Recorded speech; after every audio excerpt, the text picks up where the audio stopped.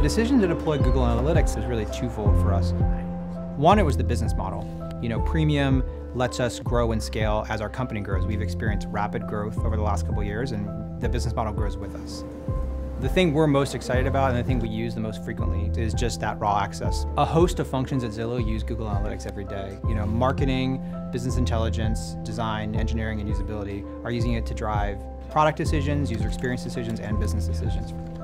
We've been really pleased with Google Analytics support, whether it's being responsive to questions, helping us troubleshoot, or giving us early access to new product as it rolls out.